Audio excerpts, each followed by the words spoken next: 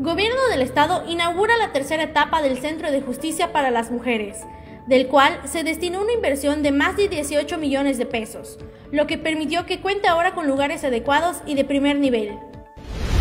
Esta es una etapa de 18 millones eh, de pesos que se están eh, invirtiendo en mejorar qué? Pues en mejorar las instalaciones. ¿no? Hoy que veníamos en el recorrido vimos eh, cubículos donde cada agencia del Ministerio Público, Público tenía un espacio, tenía un lugar privado. Esto no era así antes, ustedes lo saben.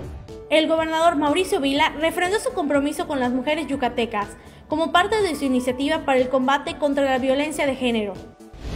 En este gobierno reconocemos que en Yucatán hay un tema de violencia contra las mujeres con el que no estamos de acuerdo, con el que no vamos a permitir y con el que vamos a trabajar para mejorar las condiciones de las mujeres. Esto no es un trabajo sencillo, esto no se va a acabar en seis meses, ni en tres años, ni se va a acabar en seis años.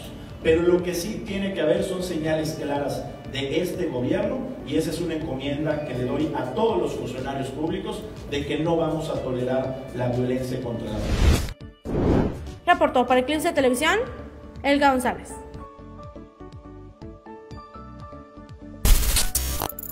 Eclipse, Televisión Digital.